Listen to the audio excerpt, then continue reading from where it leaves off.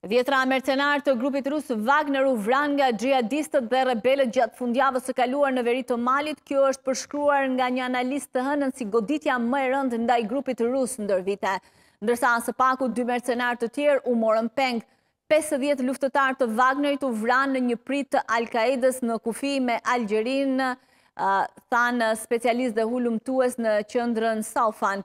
Ai tha se i ka numëruar trupat në një video pas sulmit. Mercenarët ishin duke luftuar kryesisht kundër rebelëve përkrah ushtrisë së Malit, ku konvoji i tyre u detyrua të tërhiqej brenda territorit të xhihadistëve dhe ra në pritë në jug të qytetit. Wagner konfirmoi në Telegram të hënën se disa luftëtarë të tij si dhe trupa të Malit u vranë në një betejë kundër qindra militantëve, grupi mercenar nuk tregoi se sa luftëtarë të tij ishin vrarë. Ushtria e Malit tha se i humbi dy ushtarë dhe se vrau 20 rebelë. Në një komunikatë në fundjavë, Al-Qaeda tha se pesëdhjetë luftëtarë të Wagnerit u vranë në sulmin e saj, i cili kishte për qëllim hakmarrje për masakrën e kryer në veri dhe qendër të Malit në betejën shumëvjeçare kundër ekstremistëve. Rebelët Taureg thanë se një numër i përcaktuar i mercenarëve dhe ushtarëve të Malit u dorëzuan në duart e tyre. Associated Press nuk ishte në gjendje të verifikonte menjëherë videon e përmendur nga Nasser.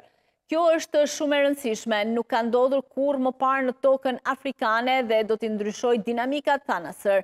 Ata nuk do të dërgojnë më ekspedita të mëdha si këto në afërsi të kufirit me Algjerinë, tha ai.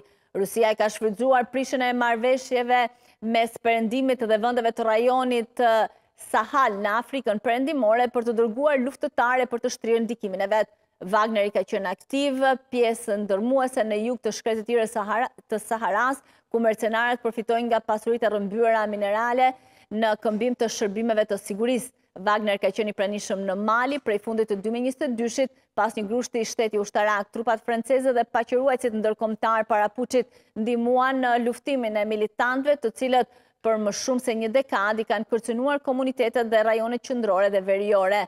Njëkohësisht, Wagner është akuzuar se ka ndihmuar në kryerjen e sulmeve me dronë, si pasojë e të cilave janë vrarë shumë civilë. Wagner ka pasur rreth 1000 ushtarë në Mali prej kur filloi të ndihmojë ushtrinë e Malit për të rimarrë kontrollin në qytetin e rëndësishëm verior, ndërkohë që Wagner dihet se ka një funksion të rëndësishëm edhe në luftën në Ukrainë, shpeshherë është përfolur se është përfshirë edhe në luftrat në Ballkan.